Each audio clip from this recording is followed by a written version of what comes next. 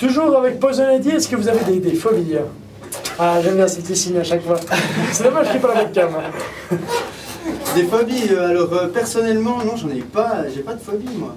Si, tu as la mycophobie. Ah La mycophobie. hein. Ouais. C'est-à-dire. euh, J'ai j'ai la phobie de mon batteur au fait. Voilà. Ah, parce- À c'est toi chaque qui fois t'appelles que Mike, ok, comme ça, c'est comme t'as un surnom. Bah, Oui, pardon, excuse-moi, non, non, la Mr. Killjoy-phobie. Non, non, non, non. Pourquoi Mr. Killjoy Ah, Mr. Killjoy, en fait, c'est un énorme euh, paradoxe euh, sur ma personnalité, c'est-à-dire que puisque je suis tout le temps très très positif, Mr. Killjoy, Monsieur Rabat-Joie.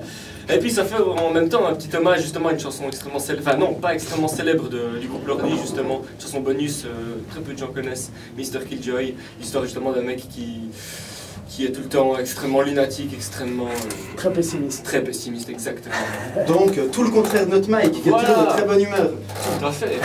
en tout cas, ça se voit. Des phobies encore autrement Euh, non, euh, pas de phobie rigolote, la maladie, voilà, sinon, euh, non.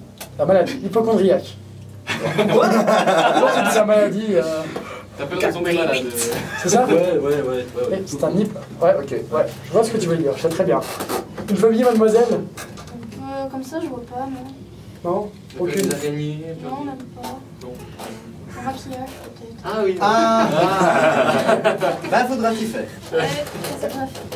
Sinon, est-ce que vous êtes un peu euh, superstitieux euh, Un gris-gris, peut passer sous une échelle euh, Au contraire, a une échelle, je crois qu'on passe volontiers.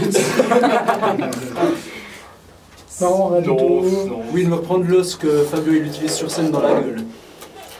Ah c'est la phobie, voilà.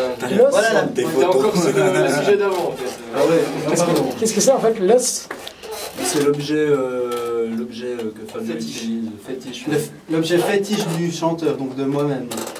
Ah, donc tu as un petit gris-gris en fait. Exactement. Je dors avec, je, je fais tout avec, je le prends sur Non mais je peux pas aller trop loin parce que bah, il y a des, encore des enfants qui sont debout, Ouais, forcément. Parce que les parents font pas leur boulot, ils les mettent pas au lit à l'heure. Donc euh, je vais pas aller Ah, trop loin dans les. me lâcher un petit peu. hein. Allez, on verra quand on aura un petit Fabio Junior.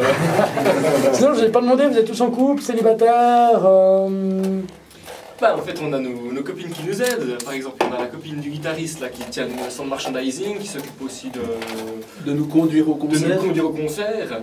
On a ma copine qui nous fait les lumières. Ouais. Et on les embrasse très fort au passage. les aime. Voilà. Donc personne n'est n'est célibataire en fait. Le chanteur est célibataire. Ah, le chanteur est célibataire. Tiens, ce Et, le chanteur est très compliqué. D'accord, dis-nous tout un peu tes critères. Ah non, je ne dirai rien. Ah bon? Ça va être dur pour une femme Non mais c'est vrai que l'amour c'est le gros bordel dans ma vie et puis euh, j'en. euh, voilà, j'ai encore pas. euh, je suis pas. Je suis pas dedans là. Ces temps c'est pas trop ça. Donc euh, je me concentre sur mon groupe et puis c'est l'essentiel et puis voilà. J'essaie de plus me poser de questions, puis de pas perdre mon temps avec des, des choses un peu euh, compliquées. C'est aussi bien, on, on, on demande souvent, enfin, on sait maintenant qu'en général faire de la musique ça attire les filles du côté des garçons, mais est-ce que du côté des filles ça attire les mecs Oui. Moi qui fais un gros bisou. D'accord. T'as tout ce qu'il faut. Mais est-ce que ça attire les mecs euh... Si, le, le- le bassiste de YNT. Ah oui, le bassiste de Royalty. C'est mignon. Donc on va dire ce soir ça va barder à la maison. Donc euh, voilà. Euh, est-ce que, est-ce que je ne retrouve plus, en, euh, je sais plus comment dire mon moi, tout va bien. euh, je sais plus comment expliquer. Voilà, la plus grosse euh, connerie que vous avez faite jusqu'à maintenant. Euh, dans le groupe ou Musicalement Tout. Tout. Alors moi personnellement, c'est avoir dit que j'ai que je perds mon temps avec euh, des choses compliquées.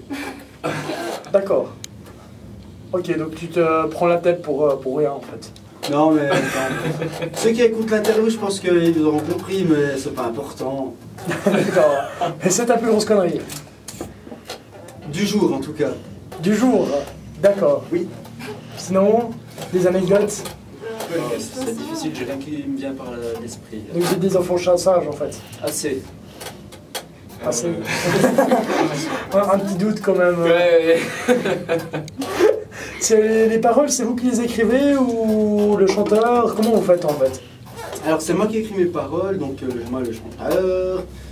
Euh, donc euh, oui, c'est moi, j'ai des idées assez, euh, assez étranges, j'ai une- un, un esprit assez torturé, donc euh, ça vient assez facilement. J'arrive à raconter des histoires un peu, un peu, un peu flippante, un peu dans mon délire, euh, qui me ressemble bien, et donc c'est, ça me fait du bien de pouvoir poser ça sur papier et de pouvoir les chanter.